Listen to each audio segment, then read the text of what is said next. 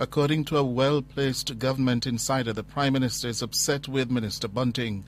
It's also emerging this afternoon that it was the police who offered a cash payment to the robbers to return the stolen items and that two of the thieves were held at Folly Oval in Portland last Sunday morning shortly after 5.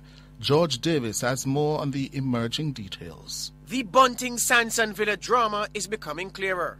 A well placed government insider told Nationwide News today that the Prime Minister is angry that her National Security Minister could have found himself in such an ugly situation which could seriously compromise his effectiveness. According to the government insider, Mr. Bunting was told in no uncertain manner that his boss was not happy about the entire affair. It's also now emerging that while the security minister desperately wanted to retrieve his stolen mobile phones and iPad tablet computer, he was not aware of the efforts to pay cash for their return by the police who were onto the robbers. According to the government insider who was involved in the tracking of the thieves and the return of the stolen items, Mr. Bunting was at the villa with two female companions while the drama shifted to the Folly Oval. That's about seven miles from the villa at San San. The minister's assigned security officer was staying elsewhere at a nearby hotel, the Jamaica Palace, also in Portland. According to the insider, the minister and his visiting friends from abroad were awoken by strange sounds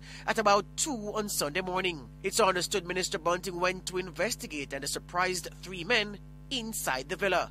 The men reportedly fled the property upon being spotted. They reportedly made their getaway, having taken three mobile phones and an iPad, among other items. The security minister is understood to have called police control, which then alerted police personnel in eastern Portland. A party of approximately 20 policemen swooped down on the area but failed to find the men.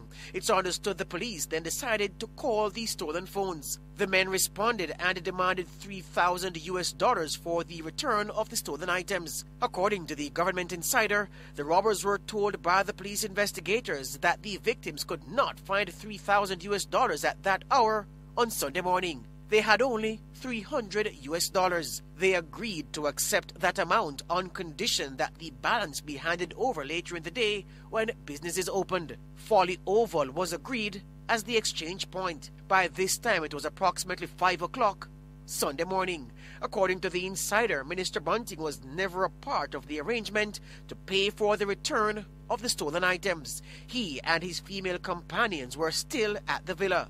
It's understood a police party went to Folly Oval to set an ambush for the men. The plan was to nab them after the cash was handed over and the stolen items returned. However, the robbers got wind of the police ambush and fled just as the police were moving in. They were chased and two of the three held at Folly Oval on Sunday morning. The phones and iPad were recovered. According to the government insider, the fingerprints found on the stolen items matched those of the two men held at Folly Oval. In a statement this afternoon, the police said all of the stolen items were recovered and that the men in custody will be interviewed in the presence of their lawyers. According to the police, the men will be charged later.